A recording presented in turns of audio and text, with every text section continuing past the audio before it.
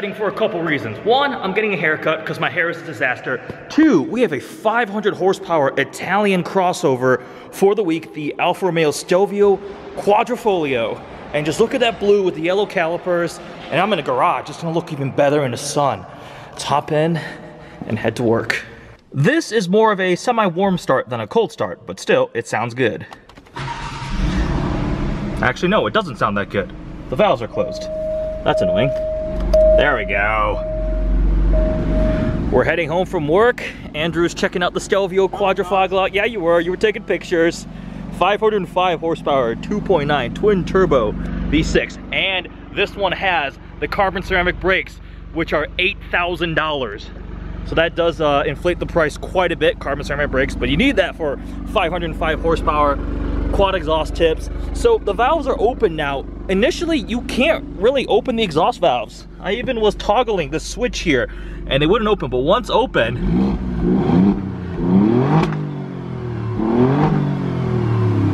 Sounds pretty good. What in the world is this weather? It's like sunny out, but pouring rain. Okay. Look, it's sunny over there. Oh, Alfa's getting wet today. Look at the sky. Nice and sunny, couple clouds, dumping rain. All right. Okay, Chicago, you have weird weather today. It's Friday evening after work, have a couple hour drive back to Michigan with the Stelvio quad. Have it loaded up, a couple overnight bags for the weekend, some camera gear, testing the cargo capacity. Not much, I mean, duffel bag, tripod slider, pelican case. Got the other things are radar detector and my uh, iPass for going tollways. Let's hit the road. Hopefully there's not too much traffic getting out of Chicago. Let's go. Almost forgot to show you guys the window sticker. So a 2020 Stelvio Quadrifoglio, base price is 80445 Notable options, we have uh, Misano Blue exterior paint, the driver assist package type of stuff, so it's got lane keep assist, traffic jam assist, blind spot. Uh, the most expensive thing are the carbon ceramic brakes, which are $8,000. Bunch of other stuff, uh, the sunroof, panoramic sunroof, the yellow brake calipers, all add up to a as-tested price of 96,540. She's not filthy, but we're getting a quick wash at Pristine Detailing in Northville, Michigan. A lot of the bugs came off from the rainstorm last night. Look at these hood vents, love it. Again, no car wash is complete without the gratuitous foam cannon shot. Nice and soapy. Ah, I'm getting hit with soap. 500 plus horsepower SUV number two has arrived. F-Pace SVR in a ultra blue finish with a Preston and Avery behind the wheel. Gentlemen, hello. What's up? So without a doubt, the F-Pace SVR sounds better, but this Alfa and this Misano blue just looks so good, all cleaned up. Yellow calipers peeking out behind those dark wheels. It is blue super SUV day. The EcoBoost Mustang has arrived. Hello, Matthew. Like my EcoBoost? I love the EcoBoost. There it is, that's what I was waiting for. A brand new G63. Holy crap, look at that color, desert tan. Oh boy, John in his new refrigerator box. this thing is awesome. So we have a couple cool SUVs here, but John wins with the new G63. This is literally something you can't even buy, even if you wanted. This was a 14 month wait. 14 months from ordering it to actually getting it. Desert Sand 2020 G63. Besides the Urus, the new G63 is absolutely my, it's my second favorite SUV in the world right now. And it's so much better than the previous gen. Oh boy. Now you want one, don't you, Preston? Nah. Nah, nah, you're giving up on that dream? moved on. You moved on. on back of the, I'm setting up the back of the Stelvio so I can lie down back here to do some roller shots. To release the rear seats, you pull this here, this tonneau kind of cargo cover here collapses and goes away. But here's, I mean, it's not a huge SUV, so you actually can't fold these back seats down with the front seats the way they are. So we're gonna move them forward, and then they'll go down. So we just did rear human cargo camera film car capacity test with the Stelvio quad. Got the slider, the camera there, it worked. We're gonna get some shots of the Alfa now. So I gotta hop in the back of the F-Pace and we'll see how much more or less practical that one is. So apparently the F-Pace's cargo cover thing is a lot more permanently installed, right Preston? Is it a pain Yeah, to it get is. out? I don't know what for the dead Oh, dude, bodies. yeah, it's got it's like it's got straps that are hooked down there. It doesn't. The Alfa one just like compressed, not compressed. It just retracted in, and I just took it out. So, I have to see a six foot three Asian guy try to climb in the back of an F-Pace. Ow. This'll work. You get an 8.5 from the Russian judge. This, Camilla, I got an eight point five. What? All right, let's do it. Let's do the same thing. Ah, okay, I can't really.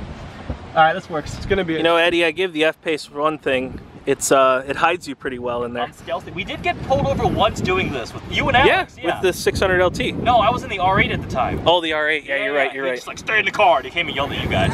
See, this cover is easy. You just go boop, yeah, and it retracts, and then you like push was it. super no, smooth. You push that in, and it comes out. Uh, yeah, you know what? It's cheap though. There.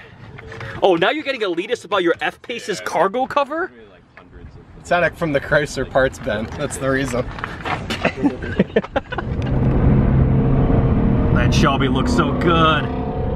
And it sounds pretty good too. I am currently in the lowest power car at only 505 horsepower with the F-Pace hiding back there. Preston, what are you doing?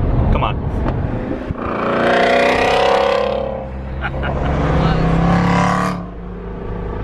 The weather today in Michigan is absolutely perfect. About to get some B-roll shots of the Stelvio and then film the actual review itself. Really loving this car. The 2020 updates they did are exactly what they needed to do to improve the interior. I really like the inside of it now. Uh, obviously, still drives amazing. It sounds good. Unfortunately, yesterday with Preston's F-Pace SVR, the sound of this doesn't quite impress me as much because the SVR is just absurd sounding. It is still great show you some of the other details uh, that I don't know if I covered in the previous video. Remember, I've actually spent a week with a 2019 Stelvio Quad, so check out that video where I covered some of the things already, but they did make updates, steering wheel changes like this shifter lever here is now wrapped in leather. That's different. The cup holder area moved. Same thing with the Giulia. Infotainment is much, much better. One of the big things I complained about was Apple CarPlay or Android Auto using a rotary knob without a touchscreen is quite infuriating. It's much easier just to tap it because that is the that's the interface you're used to when you're using your smartphone and it, it has a touchscreen now and it's much better. Other random things here, we've got the uh, little opening here. This is where I put my sunglasses. Uh, convenient there. And then auto stop start button is here, which really, I, I hate auto stop start. I mean, in like a, in a fuel efficiency minded vehicle, auto stop start isn't as bad. In a 500 horsepower vehicle, it's just kind of irritating. And what's even more irritating is when auto stop starts, if you have, like I have a radar detector plugged in to the 12 volt, it kills power to that. So when it turns the engine back on, you hear beep beep boop, and it's turning the radar detector back on because power is being restored, and it's that's really annoying. So always turn that off, without a doubt. The car uh, definitely got a little bit of a little bit of bird poop on it. Killed some bugs. I'll wipe it off with quick detail. Still, still looks amazing from the uh, wash yesterday. We'll pull out the A7S2 and get some nice beauty shots. Do the review. Oh yeah, love these carbon ceramics. They're so strong. They're amazing. Worth $8,000. Even if you don't track it, worth it because no brake dust and they will literally stop on a dime. Wrapping up the weekend at my parents' house, about to take the Stelvio back to Chicago. My dad was just commenting about the car. The neighbors have actually walking by the nice day out. A lot of them stopped and complimented the car. My dad just pointed at this and was like, why is there a dent? And it's like, that's the gas door. They do put a little, little, I don't know, a dent. Well, that's what I'd call a little indent here. Let you know it's a gas door, in case you forget. Got the car loaded up with some stuff. Dad's currently walking my younger brother's little puppy, which by no coincidence, her name is Shelby, which I approve because I have a, a Shelby.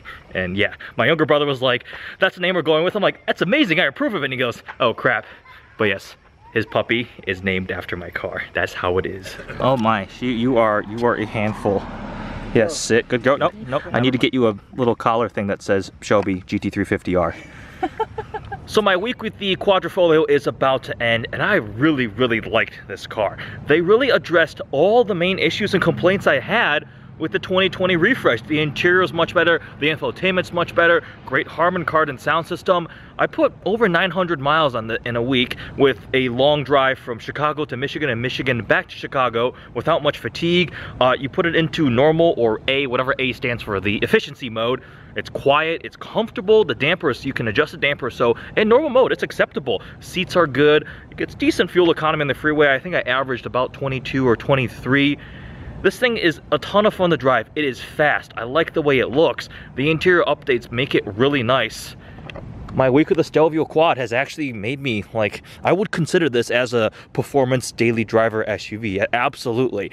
The paddle shifters just look so amazing. These interior updates. It is quite expensive at almost $100,000 with $8,000 carbon ceramic brakes. The brakes are very strong. They stop very, very quickly, uh, but it is an expensive option.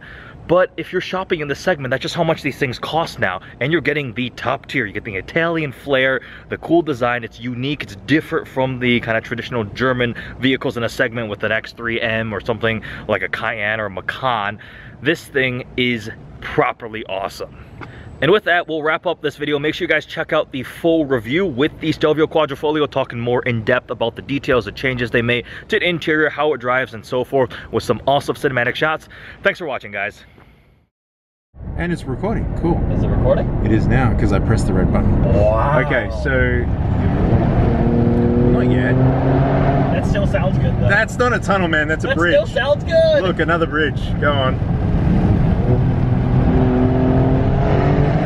Oh, this is the proper one. Yes, there we go. Oh. You have to slow down for it though, so that you get the full experience. I don't like that it's pulling up a KA band right before I go through this.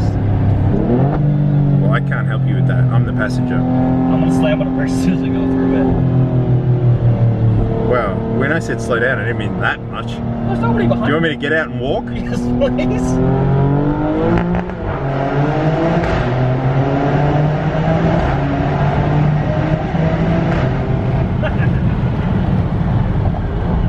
oh man, I gotta go through that in the Shelby. Yeah, you do. That's fun.